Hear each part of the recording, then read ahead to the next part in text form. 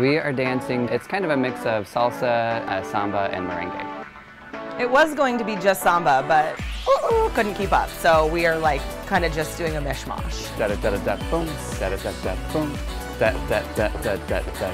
I think that was totally wrong. It's my favorite event of the year. It's the one thing that I look forward to. That's something outside of our studio. It's it's just a lot of fun. Here, there, there, and then roll up. I just totally fell in love with Shawn. And it's so funny because I feel like I can see how on the show, Dance with the Stars, they always come out dating. Da, da. I get it. We are ready to bring it home. We had second place last year. I got it in the bag. We're in it. We're in it to win it.